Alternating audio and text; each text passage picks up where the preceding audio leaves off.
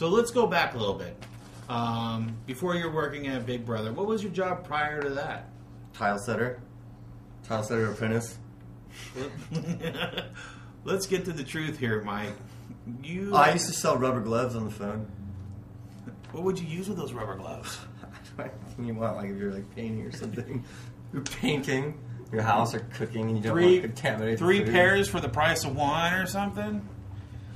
All right, I, I'm gonna let you know Um, what Mike used to do. He Yeah. used, I, yeah, I used to have a job where I would um, talk to men on the phone about whatever it was they needed to talk about to get themselves pleasure.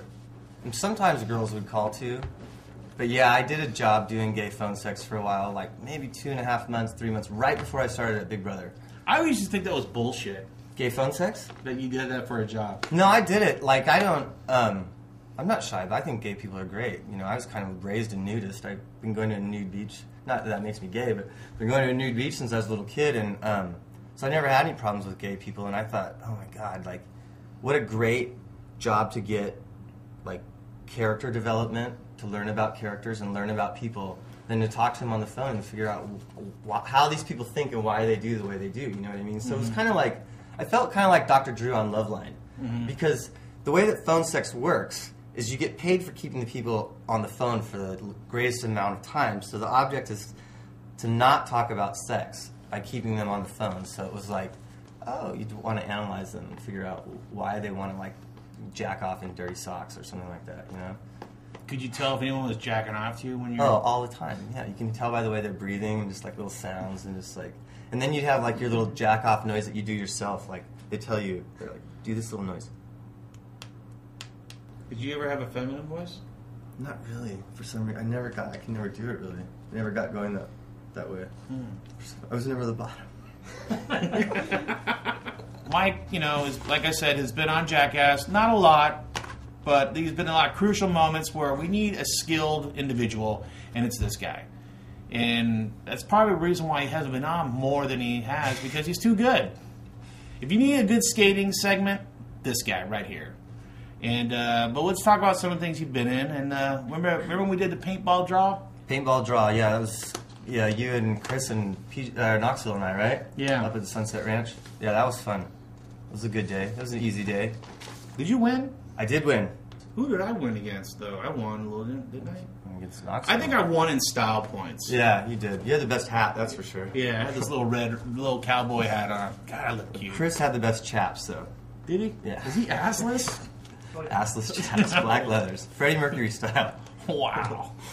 Hell bent for leather? Yeah. Smell the glove. Oh, man. Uh, you're also in this other bit that we shot back in the TV show days, and this is actually one of my favorite ones, was the Thrash and Joust. Oh my gosh. One of the most hated bits on Jackass, I think. How was that? I don't know. I've just heard people don't like it. People didn't want to shoot it before we did it, and people just thought it was stupid. Is that true, Clever? What? That people hated the Thrash and Joust? Yeah, in general, yeah. Why? I, I thought it was so funny. I think the fake acting. I think they, the fact that we tried to act in it when Jackass was all just improvisation all the time, and then we actually tried to like say was- lines and yeah, have silly costumes and Big stuff. departure from what Yeah. Jackass was. But I think you it was in the final episode too, wasn't it? It was like the last thing, probably. But it was so funny because, like, I love the one little line that Wee Man has, and it's, "No, you be there." You know that? That was it. I mean, of course we're acting, you know, or you know, like it was all part of the, the joke, you know. Like, Yeah, I think that was part of the joke was to make fun of how bad the movie was. Was part of it. Yeah, Let's talk about the Gauntlet and number two. super exciting. Just amped, just amped for it. I well, I mean- couldn't. I saw the whole setup and I just got really excited. I was like, "This is gonna be fun." Like, why wouldn't you want to do that?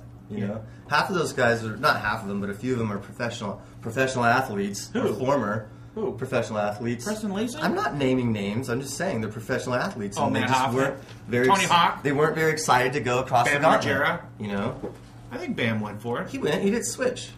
Like I said, I'm not naming names. I'm just saying there were some professional athletes there that didn't want to do the gauntlet that bad. Yeah, that was pretty fun, man. You pre- you pretty much made that bit like good, you know, because the fact at least someone made it, you know. Through Yeah. Yeah. Um, the guy tried to stop that one sandbag in front of me because he thought I would hit it, but I was blindfolded. But I just had my eyes closed. Come on, Straight. did you? You probably had it to where you could just see a little bit, right? No, I don't think that would have made a difference anyways. You'd still get hit even if you could see. Because even when you have your eyes open, you're still getting hit all the time. Mm-hmm. Anyhow, it's hot in this room. Let's get the fuck out of here. Thanks for having me, Rick. Yeah, thanks for coming by. Got to do it again sometime. Definitely. I think you know once this maybe evolves, we ever get better at it, we'll. Step Oh, there's up. lots of stories to tell. Lots of stories. They're never ending. Yeah. All right, you guys, we're out of here, man. Thanks a lot. We'll see you next time. Later.